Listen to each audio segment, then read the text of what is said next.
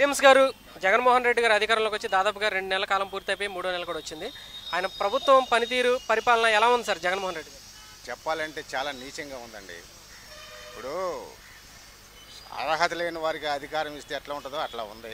రెండోది మహమ్మద్ బిన్ తుగ్లక్ గారు ఆ రోజు ఎన్ని తీసి పడేసి తోలు నాణాలు వేశారు. ఎందుకు వేసాడు అనేది ఆయనకి తెలుసు ప్రజలకు తెలుసు. ఇవాళ ఉన్నాయని తీసేసేసి సంక్షేమ పథకాలు లేబర్ని నానా హింస పెడుతున్నాడు. ఇవాళ మూడు నెలలు నుంచి ఇసుక లేక తాపి కార్మికులు పెయింట్ వర్కర్స్ కట్టుబడిదారులు బేల్దారు మేస్త్రులు ఇసుక లేక పనులు లేక అప్పులు పాలయ్యి వీధిని పడి పాలవుతున్నారు. రెండవది నువ్వు ఇచ్చే పదివేల రూపాయల జీతం ఆశా వర్కర్లకు కానీ లేకపోతే ఇంకా వేరే వాళ్ళకి కానీ వాళ్ళ విషయంకి వచ్చేళ్ళకి వాళ్ళకి రేషన్ కార్డు కట్ చేస్తానంటున్నారు. అది ఎంతవరకు సవాబండి అది న్యాయం కాదు కదా. అది కూడా వాళ్ళకి సాలి సాలం జీతాలు ఇచ్చి వాళ్ళని ఇంత ఇబ్బంది పెట్టడం న్యాయం కాదు. వాళ్ళకి ఇరవై వేల రూపాయలు జీతం తీసి వాళ్ళ కార్డు అని ఉంటే వాళ్ళ పేరు తొలగించేసే తప్పలేదు. ఇంకో విషయంకి వచ్చేళ్ళకి ఈ ఎస్సీ కార్పొరేషన్ ద్వారా ఇవ్వాల్సిన లోన్లు పెండింగ్ లోన్లు ఇంతవరకు బయట పెట్టాల. గతంలో చంద్రబాబు నాయుడు గారు ఉన్నప్పుడు ఆ ప్రభుత్వంలో ఉన్న పెండింగ్ వర్క్స్ కూడా చేసి పెట్టాడు. దాంట్లో ఆయన చాలా హుందాతనంగా ప్రవర్తించాడని చెప్పేసి ప్రజలందరూ చెప్పుకుంటున్నారు. మరి వాళ్ళ కార్డులు కూడా రద్దు చేస్తున్నాడు. ఒక లక్ష నలభై వేల కార్డులు రద్దు చేస్తున్నాడు.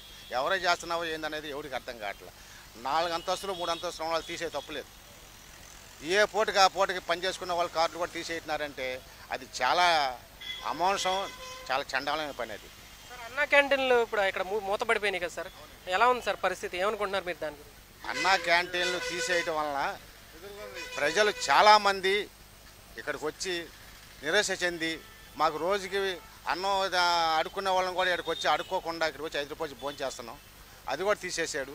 తీసేసి కొన్ని రద్దు చేస్తున్నాడు కొన్ని రంగులు మార్చుకుంటున్నాం. మార్చుకోండి రంగులు కాదు ఏమైనా మార్చుకోండి కానీ అది నడుపుతూ పని చేయించుకుంటే బాగుండేది కదా. కాబట్టి అది చాలా తప్పండి అది. దానికి అమరావతి నిర్మాణం అనేది ఆగిపోయింది. పోలవరం రివర్స్ టెండర్కి వెళ్తున్నారు. ఇప్పుడు పంచాయతీరాజ్ శాఖలో కొత్తగా పనులు కూడా రద్దు చేశారు. అలానే బందర్పోర్ట్ నిర్మాణం ఆపేశారు కదా. ఇలా పనులు ఆపడం కరెక్ట్ అంటారా? కొత్తగా స్టార్ట్ చేయడం కొత్తగా స్టార్ట్ చేయడం కూడా ఆపేయడం కరెక్ట్ అంటారా? లేదు ఉన్న పనులనే రన్నింగ్ చేస్తూ లోపాలను సరిదిద్దుకోవడం కరెక్ట్ అని మీరు అనుకుంటున్నారు? లోపాలు ఏమైనా ఉంటే సరిచేసి వర్క్ కాకుండా పని చేయటం అనేది చాలా బేష్ అని నేను అంటాను. అట్లా కాకుండా ఆయన ఏదో కొత్త కొత్త మోడల్ పెట్టి కొత్త టెండర్లు వేసి వాళ్ళని మళ్ళీ కొత్తగా పిలిచి ఈ పాత వాళ్ళకి అన్యాయం చేసి కొత్త వాళ్ళకి మళ్ళీ ఏదో చేయాలంటే అనేది కరెక్ట్ కాదండి అది. ఉన్న దాన్ని లోపాలు సరిచేసి ఇట్లా చేసుకెళ్ళండి అని చెప్పడం కరెక్ట్. సార్ అమరావతి నిర్మాణం ఆగిపోయింది కదా రాజధాని నిర్మాణం. ఈ ప్రాంతంలో ఇప్పుడు పరిస్థితులు ఎలా ఉన్నాయి సార్? ఈ ప్రాంతంలో పనులు లేక అల్లాడుతున్నారండి. నిర్మాణాలు అక్కడ దొంగల దోపిడీ జరిగిపోతుంది. ఇసుక ఎటు పోతుందో తెలియదు రాడ్ ఎటు పోతుందో తెలియదు. అక్కడ వాలంటీర్స్ లేరు ఎవరు లేరు.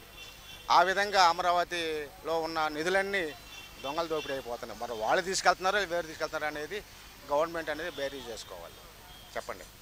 సార్ వాలంటరీ వ్యవస్థ పెట్టారు కదండి ఇప్పుడు ఐదు వేల రూపాయల జీతానికి. సో దీనిపైన మీ అభిప్రాయం ఏంటండి అది చాలా తప్పని నేను అంటానండి. చంద్రబాబు నాయుడు గారు నిరుద్యోగులకు రెండు వేల రూపాయలు వెయ్యి రూపాయల నుంచి రెండు వేలు చేద్దామని అన్నాడు. అంతలా ప్రభుత్వం మారిపోయింది కాబట్టి అది అది అట్లా ఉంచండి. ఐదు వేలు ఇచ్చేసి ఏ పని చేయకుండా గ్రాడ్యుయేషన్ ఉన్న వాళ్ళు ఇంటర్మీడియట్ ఉన్న వాళ్ళు ఐదు వేల రూపాయలతో ఏం బతుకుతారండి? ఏం పనులు చేయకూడదంట. ఎక్కడ ప్రైవేట్ వర్క్ చేయకూడదు. అచ్చంగా ఈ ఐదు వేలతో జీవించాలంటే దోపిడీకి ఇంకా ఎక్కువగా మనం చేసినట్టే కదా. ఇప్పుడు ఏ పని చేసినా కానీ వాళ్ళ ద్వారా కానీ చేయించుకోవాలంటున్నారు. ఒక్కొక్క అప్లికేషన్ వెయ్యి రూపాయలు తీసుకోవచ్చు ఐదు వందలు తీసుకోవచ్చు రెండు వందలు తీసుకోవచ్చు వంద తీసుకోవచ్చు. అది తీయకుండా ఏం చేయలేరు కదా. ఆ ఐదు వేలతో వాళ్ళకి ఏం ఖర్చుద్ది అని నేను అంటున్నాను సార్. చెప్పండి. ఎలా అనిపించింది సార్ టోటల్గా అయితే ఇప్పటివరకు? టోటల్గా వచ్చేది ఫెయిల్యూర్ సార్. టోటల్గా పేద ప్రజలు ముఖ్యంగా అల్లాడుతున్నారు. ధనికులు పనులు కల్పించలేక పేదరిని ఇబ్బంది పడుతున్నారు.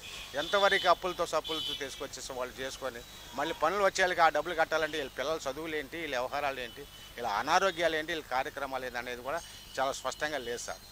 మరి పెన్షన్ పెట్టారు. ఇంతవరకు మొన్న పెన్షన్ ఇస్తానికే మొన్న ఈ పెన్షన్ ఇస్తానికే రెండు సార్లుగా ఇచ్చాడు.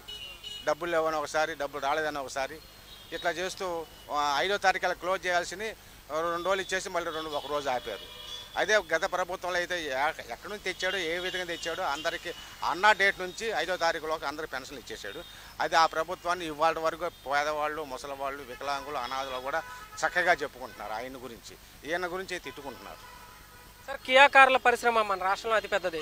అసలు ఆ పరిశ్రమని ఎవరు తీసుకొచ్చారని మీరు అనుకుంటున్నారు సార్? ఎందుకంటే జగన్ గారేమో మోడీ గారు తెచ్చారంటున్నారు. బొగ్గన గారేమో వైఎస్ రాజశేఖర రెడ్డి గారి టైంలో హయాంలోనే అయ్యింది అని అంటున్నారు. అసలు ఇందులో ఏది వాస్తవం అని మీరు అనుకుంటున్నారు? ఇప్పుడు మోడీ గారి టైంలో అది కేంద్ర వ్యవహారం కాబట్టి రాష్ట్రంలో ఉన్న చంద్రబాబు నాయుడు గారు దాన్ని ప్రైవేట్ జనంలో తీసుకొచ్చి అక్కడ శంకుస్థాపన చేసి దాన్ని ప్రారంభించే చేయడం జరిగేది.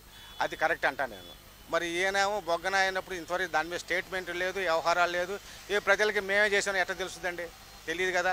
కాబట్టి ఏదైనా కానీ చంద్రబాబు నాయుడు ఆ ప్రభుత్వంలోనే ఆ కియా కార్ల వ్యవహారం బయటకు వచ్చింది వెలుగులోకి వచ్చిందని చెప్పేసి ప్రజలు ఎవరైనా కానీ దాన్ని చెప్పుకుంటారు.